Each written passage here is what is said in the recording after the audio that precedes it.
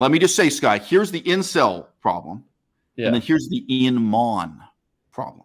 What is an in-mon problem? In-mon. Okay, I'm not really that concerned about the incels. I'm interested. I'm concerned about In involuntary monogamy.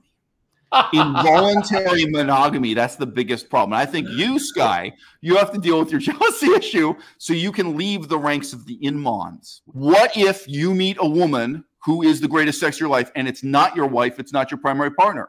I'm in a very privileged position. I'm the best sex Melissa's ever had in her life. She, she is the best sex I've ever had. Not everyone's in this position. Dude, what percentage of women are married to a man today who is not the best sex they've had in their life?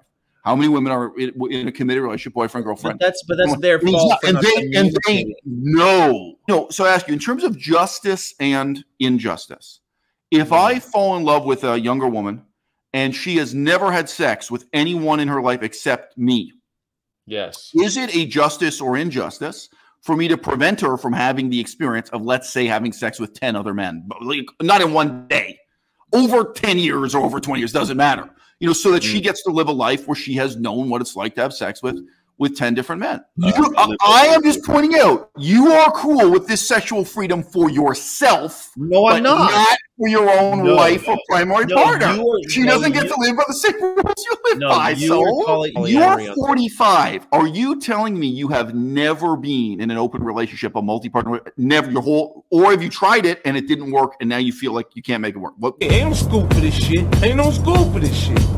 You gotta be smart enough to pick up the information as you go.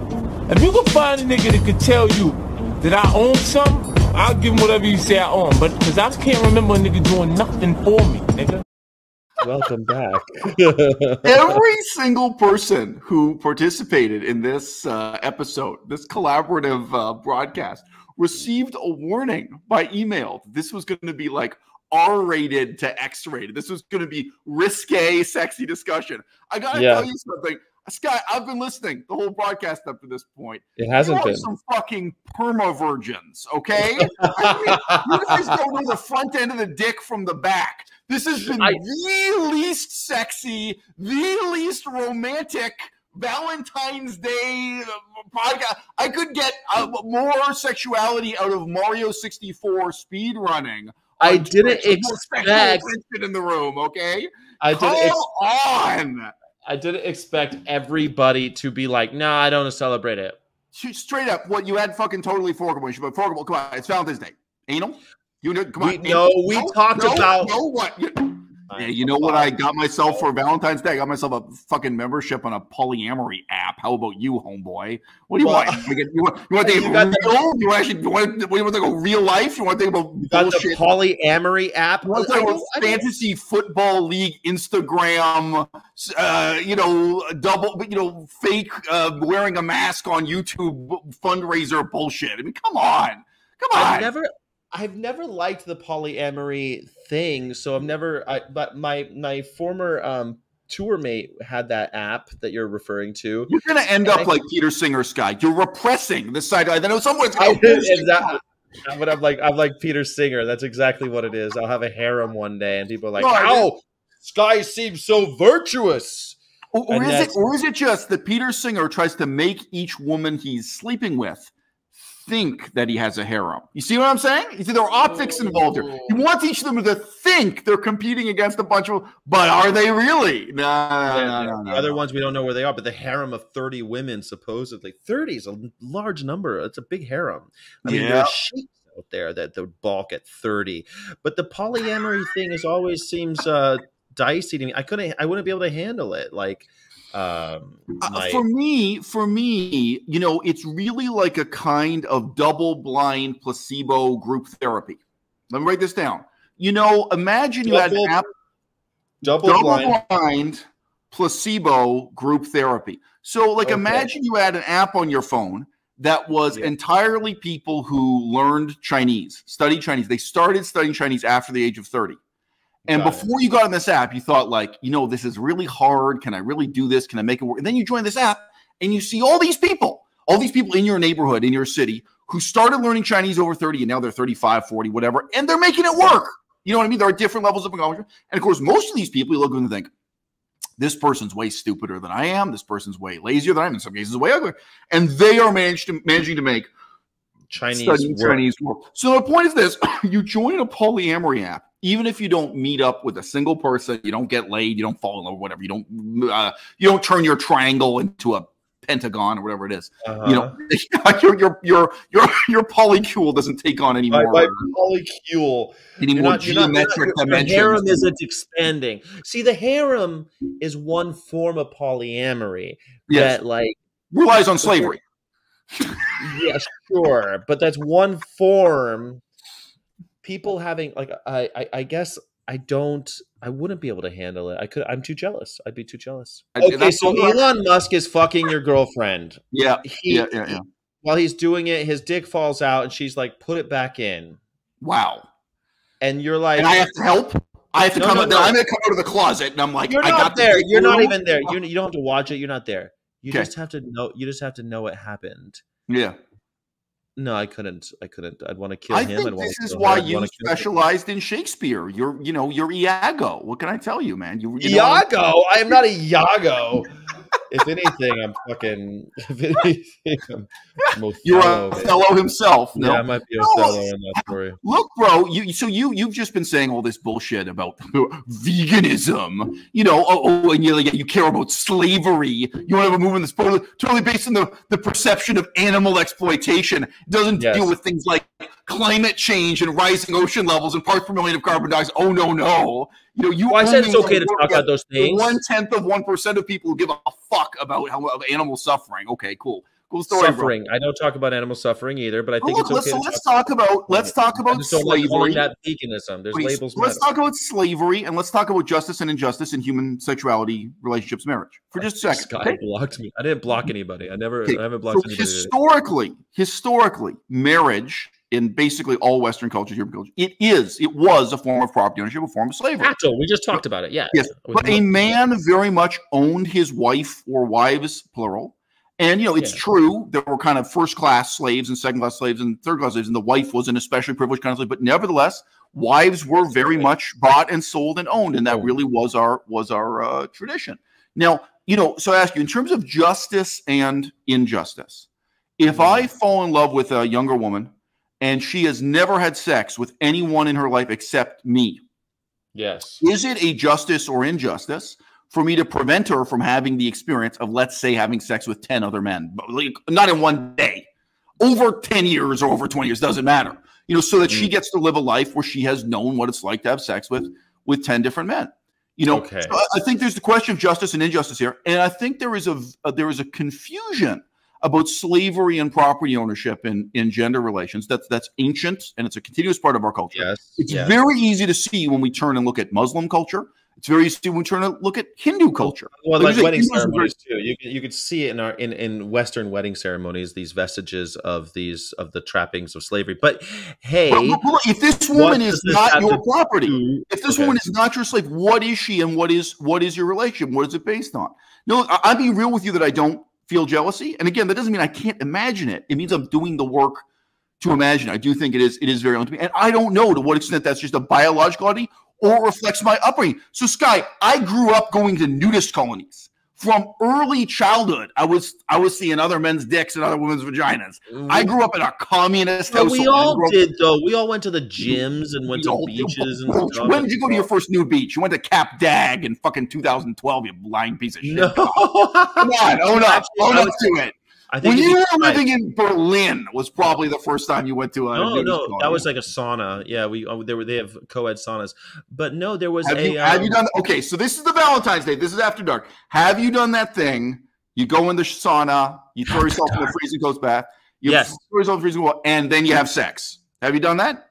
Um, I'm not. I we did the uh, the the eucalyptus whipping. Yeah. thing. And you combine Yeah. that with that.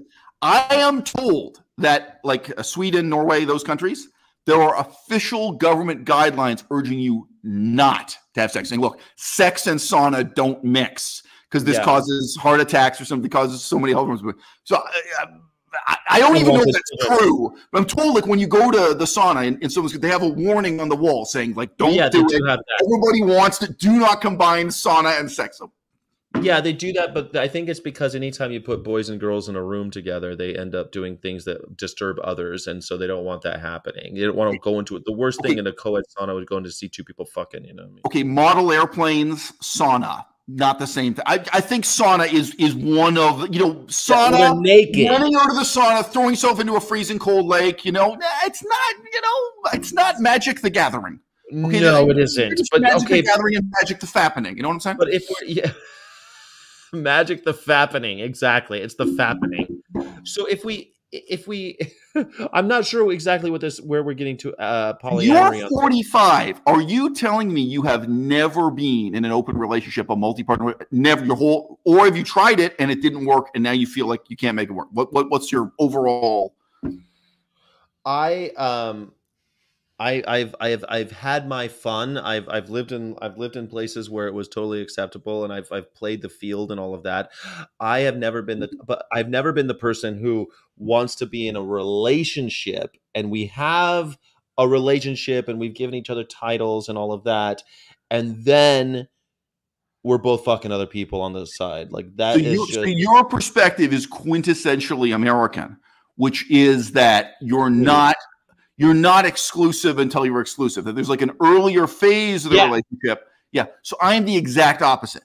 So when I'm first with a woman, start of a new relationship, I would say for three months minimum, it's got to be monogamous when you're getting to know each other. Maybe six months, like however long, maybe eight months. But like if you Mm. if you first meet a woman, I don't really know her, like she doesn't really know me, I don't trust her. I would say absolute minimum, you want to have three months of monogamy and then open it up and start dealing with other problems and other situations. That would be my advice. Yeah, but the but the American tradition, like I, I know you're I'm saying you're normal. The American tradition is the opposite, where people go through the first eight months of the relationship, they're both it sleeping never- with their it- it- sex. They're in effect. Here's what I think it doesn't cheat. work. It doesn't Yeah. work because, like, so for example, Karina um, flipped her car during the storms in in LA Right. and or in, in Southern California, and I was very worried about her, and it was it was troubling. And she was okay; everything worked out. Right. But if I had two, I'd be a little con- or three or four. Yeah, they're all What if she had two or three or four? What if those guys could have helped her out? What if there's another guy who meets her at the hospital? That's great. What if there's another guy who can who can put the new tire on her car? So you're only looking That's, at one what, that's why we have service. That's why we have services. We have fucking people for that. We got cops. We got all You're sorts saying she can fuck the cops. You're saying she can fuck the guy from the Triple H fuck. Anybody. We have the, that's what money is for, so we don't have to fuck each other for these. Mo- Listen to this. Money. Money. and why we have- Li- Listen Sky. Listen how blue pilled you are. I'm talking about love, and you are talking about money and You're not. You're talking about the. You're talking about the absence of slavery and the and the and the promotion of justice through sex with others. I think that's like anti anti Valentine's Day. Ju- will. justice starts at home, Sky. What can I tell you? The end of slavery begins begins in the Okay. bedroom. But So look, I- you I know, let, wanna be able to us talk about the, the jealousy thing uh, a, a little bit. You know, the green-eyed monster is not on my back, but he's in the room. You know, I'm not like I'm not constantly uh, jealous. I'm not someone's like, "Who you talking to? Let me see your Look, phone." on this on this app, you know, I get to see all these people from different walks of life. You know, they, they describe themselves, they present themselves in a, in a certain way. You you get to see what it is they care about in life, like drinking beer and going fishing. Like you know, they're- give you a photo pictorial and a short narrative. This is who I am. This is what I care about. And the vast majority of them are incredibly shallow, stupid people. Um, Uh-huh. This is really this is like uh, social anthropology. But this uh, is like that's the other thing. I don't. I, you know, I know that you you and I share our um, inability to accept large groups of people because we find most of them um, annoying or or un, un, you know just un, intolerable. Right. Yeah, I can't, I can't tolerate that many people. So the idea of like going out and trying to find another one, it just seems like fuck. It's too much effort, man. God damn it, I can't be. I can't be bothered. I got other shit to do than find more bitches. Like it just.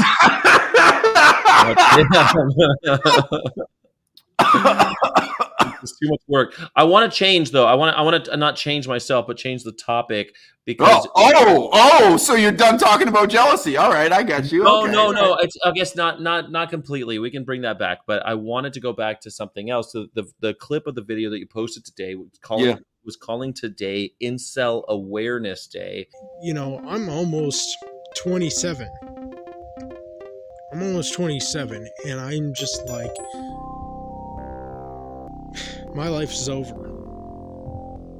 my my life has ended for a long, long time now. I think I missed something. Although I enjoyed the video because your delivery and some of the things you said, I don't totally understand what the connection is between the weird incel wizard guy who's about to be 30 and he's never had a girlfriend and he feels like his life is ending Yeah. and your anecdotes about growing up around people that were all horrible and shit.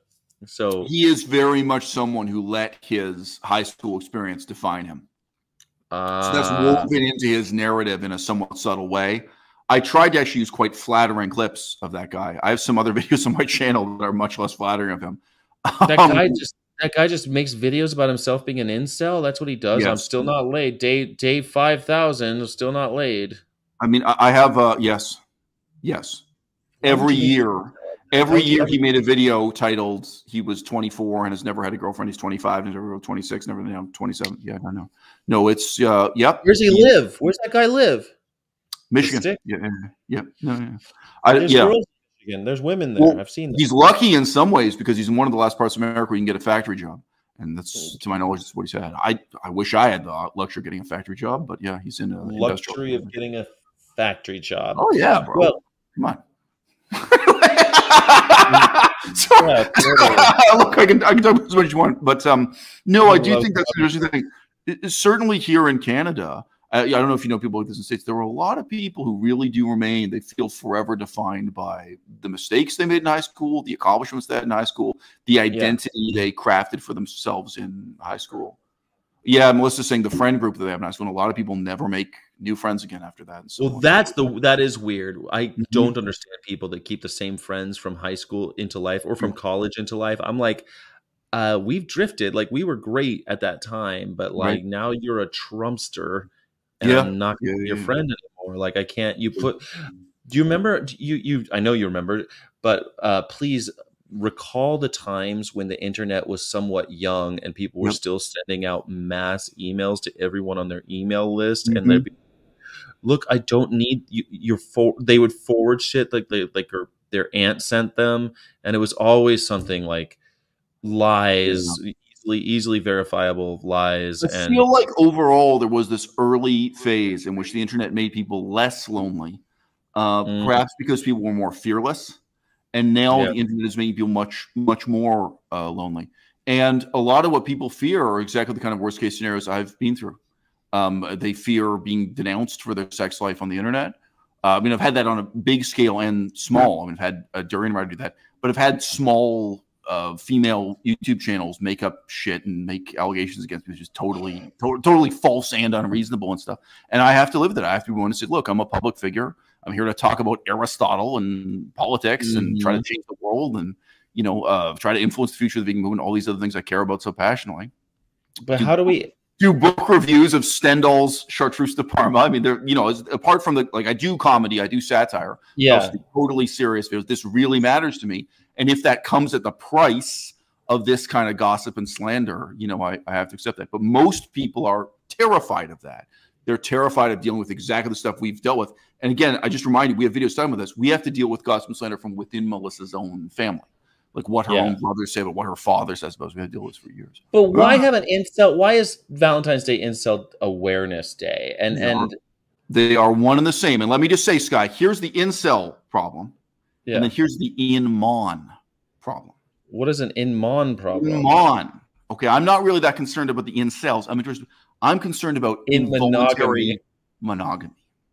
Involuntary monogamy. That's the biggest problem. And I think you, Sky, you have to deal with your jealousy issue so you can leave the ranks of the inmons, which is you know no, I'm. I'm I'm not Far I'm not worse. involuntary. I am voluntary. I'm a voluntarily monogamous. You think so? Uh, yeah, well, is voluntary celibacy. Volmon would be would be uh, voluntary monogamy. Let's I am 100 percent Volmon because I find most people repulsive. But And look, so, so, like- Sky, you drive a truck. It is I do. possible you have a, a car accident and it crumples up your legs. Okay, let's say hypothetically you used to be the best sex your girlfriend ever had, your wife ever had, and now you're not anymore because you had a car accident. You know, you could also get struck by lightning. Doesn't have to be that. Whatever it is, you can have things that that really Im- impair you. You know, does your relationship have enough substance intellectual substance, ethical substance, that she's still going to be your wife, or she's she's still going to be committed to you, and you're still going to be committed to her when you take that sexual element out of it. I'm in a very privileged position. I'm the best sex Melissa's ever had in her life. She, she is the best sex I've ever had. in my life. Not everyone's in this position, dude. What percentage of women are married to a man today who is not the best sex they've had in their life? How many women are in, in a committed relationship, boyfriend, girlfriend? But that's but that's their And fault. not- and they and they know, and they know every fucking day. They know. Oh yeah, well Jared used to eat my pussy better than you. You know, whatever. Steve used to fuck me better than you. Yeah, maybe I'd do anal if you could fuck me like Steve. You gave me as many orgasms as Steve, but you don't fucking put it up. And for what the guy has other redeeming qualities. There are probably other good things about the guy, right? That's Yeah. not my situation.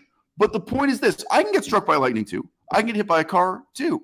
Like you live your life, you build your relationships in a way where there is enough intellectual substance, ethical substance, Yeah. political substance, eh, whatever. That you know, okay, if the day comes when, you know, uh, the, you know, I can't be for you what I was sexually for the whatever the first ten years of the relationship or something, or you happen to meet someone who is a who, who is the best sex of your life and I'm not. What have I got to be jealous of? Why can't I just be happy for you reciprocally? Why can't you just be? You're happy for me? talking about extenuating circumstances that may No. or may not change the chemistry of your relationship. No, I'm talking about things that are inevitable.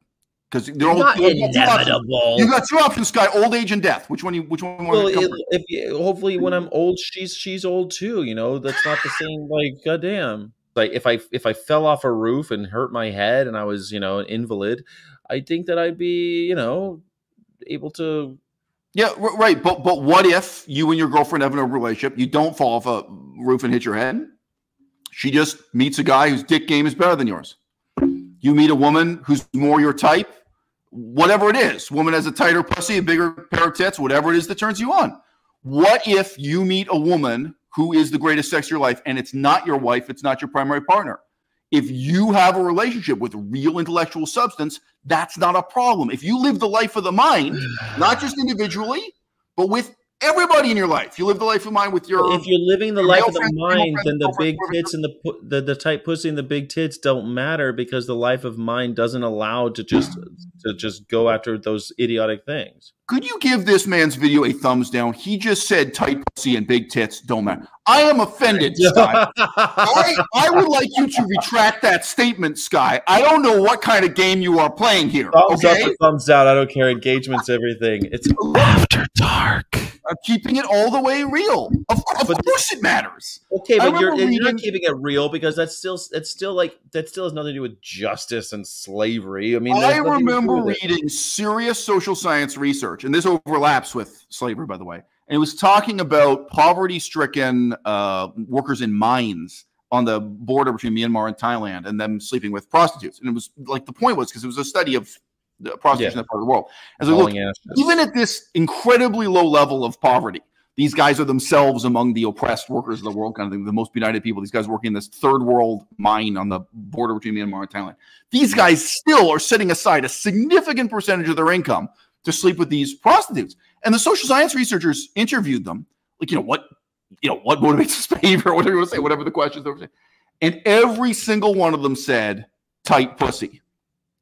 And I got to read this brilliant statement by someone with a fucking PhD from Paris, France, explaining that tight pussy is a social construct and that we need to move beyond the tight pussy paradigm in fucking sexual. I'm saying there is like, you know what? You know what? It's a social You know what? construct. Penis size is not a social construct, guys. You know, I'm sorry. This is we are in fact getting into the realm of things that are not social construct. You know what? Veganism is a social construct. As committed as I am to being, a lot of things are. You know what? Yes. You know what? Like, It's just like a co- social construct, though. I thought you were optimistic about kind of the future of human civilization that we were going to move on past. You think I'm hang-ups. optimistic? Yeah, I thought on, on this issue, not not about veganism. No, of course not. The world's going to end. You know, Bangkok's going to be underwater within ten years. After dark. Bangkok underwater with my name in lights. Girls pulling off their shirts like Talladega Nights. Oh, you tell me now the North Pole's gonna melt when I've been getting laid since motherfucking Roosevelt. I, at- in the morning, I'm optimistic. By nighttime, I'm, I thought you were optimistic, like in contrast to my critique of bikini activism. I thought you, you, or your overall perspective was, you know, we have these sexual hangups left over from the Dark Ages of Christianity, and we're going to progress past that, it sounds to me like you want to stay in the dark ages forever. It sounds like you want to. I don't know. It sounds like you're. I don't think, con, first bro. of all, uh, well, two things. I don't think that my life is going to. Uh, if I'm in the dark ages, then I guess I'm comfortable there. Uh, although I think that I've, I've, I think that I've to go back to the darkness. You know, all, I, I've, I've lived a life to, to the hilt, and I've, I've, I've ventured into the darkness. I've come back, and I think that um, my life is better. But, but your girlfriend doesn't get to do that now. Your girlfriend doesn't get to. So yeah, I don't know. I don't know. The, no, no. So let's say you, look, I don't know your girlfriend's age. Would you want to just give approximate? Like, She's, Ballpark? she's, she's, she's like 27. okay, so she's 27. So she doesn't get to do the things you did at 27, motherfucker. Who knows what? Who, kn- You're 45. You said you already you already lived. You lived a full life. You got with a younger woman who's 27. Okay. You have more of an age gap than I do. But you I think there's gap. no injustice for you to treat this woman as your property. She gets My no property. She doesn't do any of the shit you did when you My were 27, you fucking hypocrite. No. That's the reality. It is unequal. It is oppression.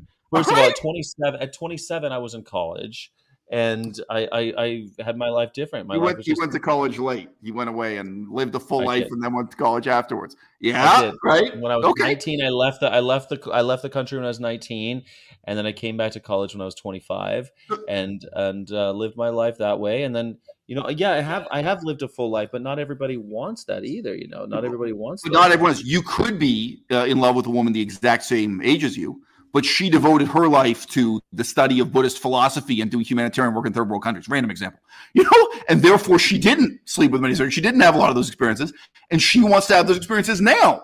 But you're saying no, the, the darkness of the dark ages ain't over yet. You want this uh, tradcod monogamous monogamous relationships. I, the, the, the, the, the darkness of the dark ages will, will, will, will plague us probably for quite a long time. And I'm sorry that I'm not as sexually. You, uh, I, I am just pointing out you are cool with this sexual freedom for yourself, No, I'm not. not for your own No. wife or primary No, partner. you are- she no, doesn't get you- to live by the same rules you live No, by. you so calling. You said that the incels and in what do you call them? In mon involuntary In mon. monogamy. This is the this is the real problem. That's ridic- That's ridiculous. So happy, happy uh, incel day, my friend. Happy Incel Awareness Day. Did you get presents? day. Did you get any presents for Valentine's Day? I want to I want to shout out my, my best girl here. What she gave me for Valentine's Day. I did not give out. What did you get? all these other hoes know what they have to okay, so here we go. This is a collection of some of the other lesser known utopian thinkers. So, you know, Melissa and I read uh, Thomas More's Utopia. I read Yes, it out yes. loud. You really go through it. And this is Saint Simon Fourier and uh, Robert Owen. So, yeah, it's it, it's it's not you know it's one of those things that's painfully historically important, but emphasis on on painfully. So that's uh, 1803 to 1813. The word socialism is first used uh, 1835. So I just, in terms of history of political science, this is one of the Uh-huh. even if it's even if it's complete bullshit. Day. Yeah. Okay, okay. let's keep Oh, going. well, you, you Let's go. thought she was going to buy me a double-sided dildo? What did you No, think, bro? That was going to be a vibrator that I can slide up my ass? What were you expecting, bro? Jesus What do you think? Christ. I'm glad. You that- I'm glad you thought she was pointed going to out- buy I'm me a glad you pointed four-way out- with Nina and Thank Randa. I was expecting that. Uh, to be honest, I was like, okay, shit, this, here it comes. Identical twins again. Another Again. pair of identical twins. You think Another you think one. you think two women is exhausting? All right. Uh, so this is I, again. I can't endorse this. I just received it as a gift. I haven't read one page of it, but this is about a Napoleonic War in Spain.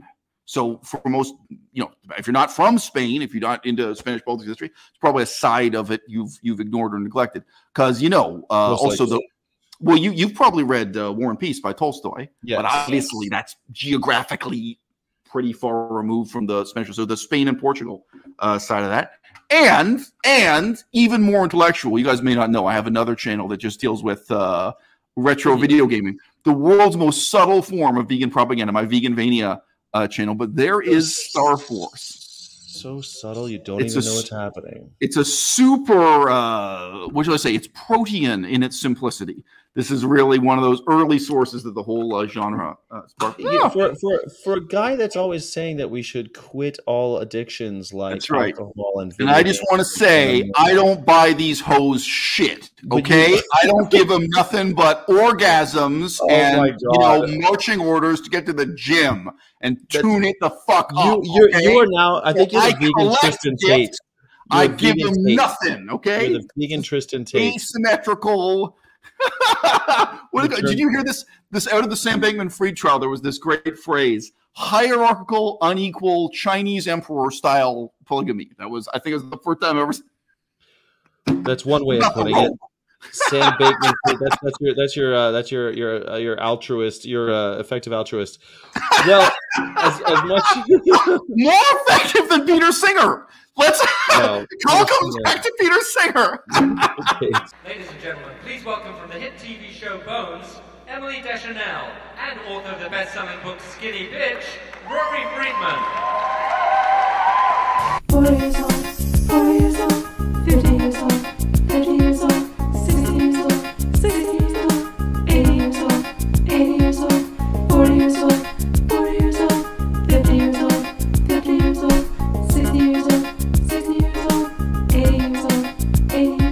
Your love's so good, I don't wanna let go. Although I should, I can't leave you alone. You're the leader of this army, and I'm caught up in a vegan war. I cannot win, and oh.